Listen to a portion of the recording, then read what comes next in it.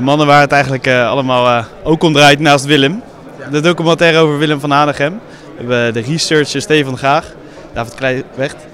Het begint natuurlijk al met research, een documentaire. Dus ik begin ook meteen even met Steven. Hoe, ja, hoe kom, kom, je op deze beelden en ja, hoe ga je dat uiteindelijk samenstellen uit zoveel materiaal? ja, dat is gewoon een kwestie van, van beginnen.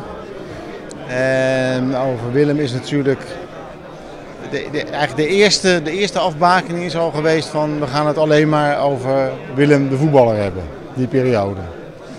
dus dan praat je over 1962 tot 1983. Dat maakt, al, dat maakt het al heel erg makkelijk. Dan heb je, hoef je niet het, trainerschap en uh, alles wat daarna is gekomen. Waarom is daarvoor gekozen als, als voetballer echt? Uh, omdat dat meest tot de verbeelding... Ah, oké. Ja, oké.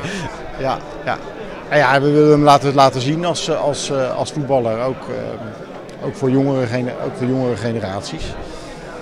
En dan is het uh, ja, toch uh, selecteren en overal waar Van Hanegem een rol in speelt in het beeld, ga je, ga je, ga je bekijken. Het is gewoon, het is gewoon, ook gewoon, gewoon, het is gewoon hard.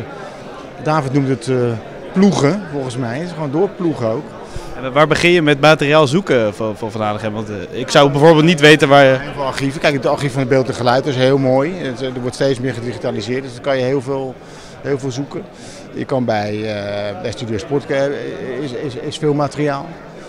Ja, je komt ook uh, via YouTube kan je steeds meer vinden. Maar ja, er zijn ook heel veel verzamelaars die, die, die, die, die wedstrijden verzamelen. Ja, die ga je ook aanschrijven. Die zitten in Engeland, die zitten in, in Frankrijk. Ja, daar haal je weer een, een, de hele wedstrijd van, van, van, van Celtic Feyenoord vandaan bijvoorbeeld. En als researcher heb je op een gegeven moment ja, heel veel beeldmateriaal. Uh, ja, dan gaan we naar degene die het uiteindelijk eh, in elkaar zet en regisseert. David, hoe, hoe kom je ja, tot iets kleiners uit iets heel groots van, van beeld? Nou, dat heeft met een aantal dingen te maken. De eerste afbakening is dus de voetballer Willem van Hanegem. Dan ben je specifiek op zoek. Nou, eerst ga je het verbreden eigenlijk. Want Steven heeft het nu gehad over beeldarchief. Maar we hebben ook veel gebruik gemaakt van radio. En juist door de combinatie van andersoortig materiaal, dus radiocommentaar bij beeld, zoals bijvoorbeeld uh, interview van, met Jan Wolkers over Willem van Hanegem, dat is essentieel geweest voor de vertelling. Daardoor wist ik dat ik iets kon.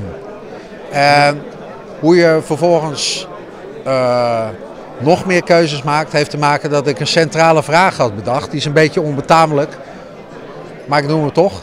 Waarom houden we van deze klootzak? Dus houden van en klootzak gecombineerd. Daar moest het steeds mee spelen.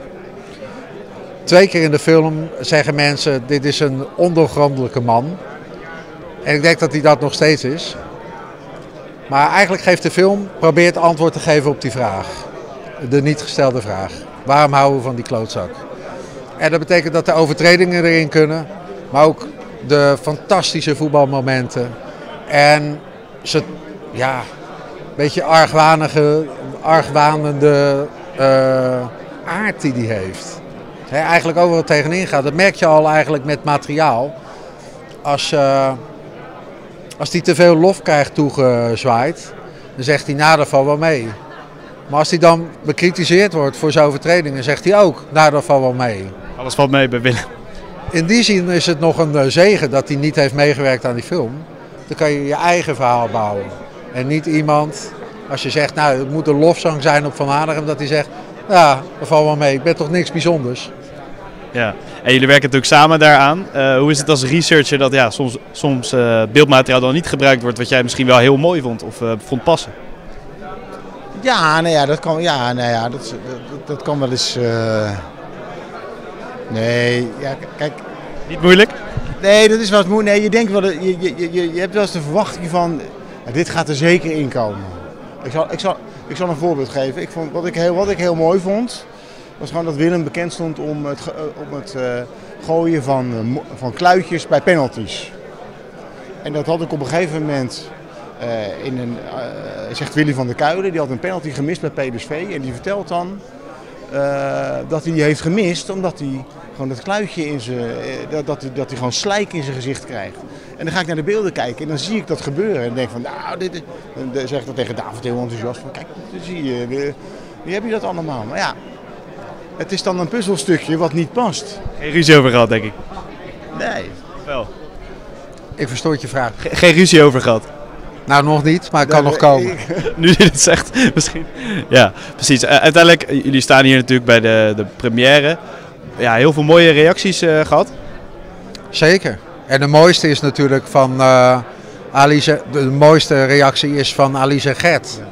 Eh, zijn beide kinderen van Truus. Die ook een, eh, ik zou bijna zeggen bijrol, maar het is eigenlijk de tweede hoofdrol in de film heeft. Eh, ja, dat deed me wel wat. Want eh, ja, wat wel bijzonder is aan het maken van de film, is dat ik, eh, ik heb Willem van Hanegem eh nooit ontmoet. Ik heb hem zelfs nooit gesproken. Is dat juist goed? Dat je neutraal kan zijn eh, aan het begin tot het eind? Ja, dat weet ik niet. Maar dit is, dit is hoe ik hem zie, denk ik. En voor mij is het heel belangrijk dat hij als persoon naar boven komt.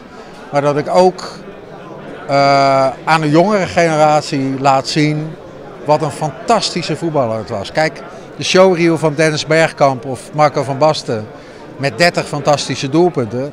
Ja, dat snap ik dat mensen dat goed vinden. Maar bij Willem, die veel meer deed, ook verdedigen, fantastisch koppen, eh, kromme ballen geven, totaal het spel bepaalde. Ja, dan moet je een andere aanpak hebben. En ik denk dat deze hele film daarop gesneden is. Op aan te tonen wat voor een geweldige voetballer Willem van Hanegem was. Toch uiteindelijk eh, jammer dat Willem er zelf niet is? Of past dat dan ook wel in het plaatje of zo, met Willem? Ja, sommigen zeggen, eh, zeggen van wel.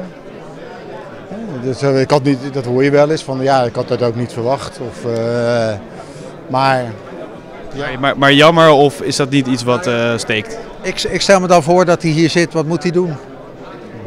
Moet Ja, de- alles relativeren waarschijnlijk. Ja, of, of een, enorm ge, eh, geëmotioneerd zijn. Dat kan ik me ook zo maar voorstellen. Dat is ook moeilijk, denk ik. Dat lijkt me verschrikkelijk. Dus ik, ik, ik zou. eh, ik, ik, eh, ik heb op geen enkele manier het talent van Van Hanegem. Niet als filmmaker en niet als voetballer. Maar ik zou thuis blijven. En uiteindelijk wordt hij natuurlijk uitgezonden. Ehm, ja, waarom moeten mensen kijken? Want ja, de kijkers die dit zien, die hebben de documentaire nog niet gezien. Waarom moeten mensen naar, eh, ja, naar deze film kijken? ja, je krijgt een, kijk, ons programma heet Andere Tijden Sport. Nou ja, meer andere tijden kan je niet hebben, denk ik, qua voetbal, qua hoe een, eh, hoe een, hoe een voetbalpersoonlijkheid eh, met, de, met de media omgaat. Dat is gewoon prachtig. Maar ze moeten vooral gaan kijken gewoon om, om zich nog een keer eh, ja, te laven aan de geniale voetballer die, eh, die Willem van Hanegem was. En dat is ook het mooie van het, het eindshot is natuurlijk ook dat je dat daar, daar hoor ik heel veel mensen over dat ze in de, in de tunnel van de Kuip bij de afscheidswedstrijd dat ze dan Cruijff en Van Hanegem eh, naast elkaar zien staan. Toch de beste en de op één na beste voetballer van Nederland. Ja. Dan mogen jullie zelf be- beslissen wie dan de beste is. In Rotterdam is dat van Aardigem. Zo is het. Zo is het. En dan eh, als laatste kijken jullie er ook naar uit dat hij eigenlijk uitgezonden wordt. Want je hikt daar natuurlijk tegenaan. Ook te- tegen dit moment, denk ik. Hoe, hoe is het dan dat andere mensen het zien? Is het eng of niet? Ja, dat is ontzettend eng.